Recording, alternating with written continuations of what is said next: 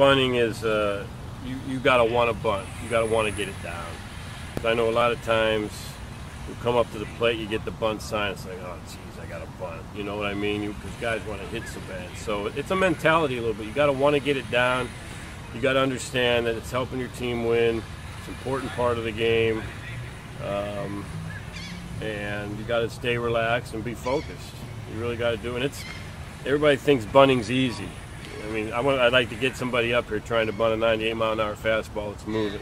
It's not easy, and it's something you have to work on. It takes a lot of practice. Everything in this game, you got to work at it to become better.